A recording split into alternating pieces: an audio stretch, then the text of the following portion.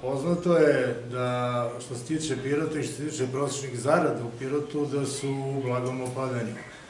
Svedoci smo da je a, jedna fabrika, jedna, jedno preduzeće koje je proizvodilo odeću, da je obustavila rad a, krajem godine, što nije dobro. Radnici su ostali bez posla. Imamo takođe odliv radne snage u Malošište, u ovu fabriku za a, proizvodnju kablova za automobil. Ono što je isto evidentno je da i Tigar AD smanjio broj zaposlenih, u oktobru mesecu 244 radnika je otišlo po, ovaj, po sistemu tehnološkog viška. Pa, situacija u celom svetu nije dobra, to se odrazilo i na Pirot.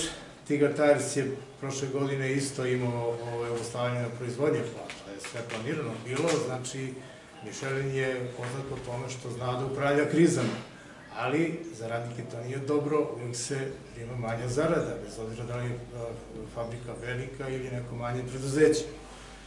A, kao što sam i rekao, prosek zarada je u Pirotu u padanju, a, možda je razlog što je završen ovaj koridor, napravljen put i ovaj, iza Pirota Babušnica, Dimitrovgrad i Bela Palanka su daleko ispod po jedno 15 do 20 hiljada dinara manje.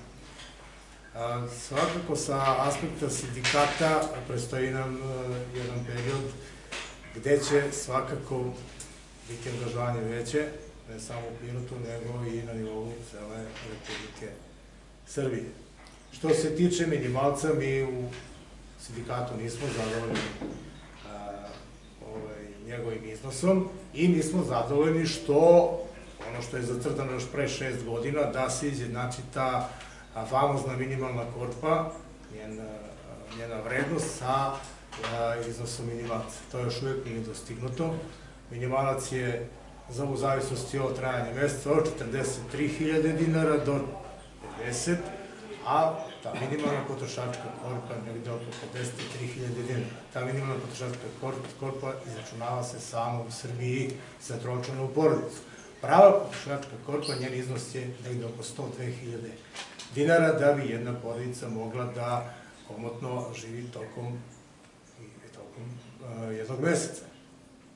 To će isto biti zadatak i sindikata i socijalno-ekonomskog saveta, mi stalno to potiskamo preko Republičkog socijalno-ekonomskog saveta, ali eto do realizacije tih naših zahteva nije došlo.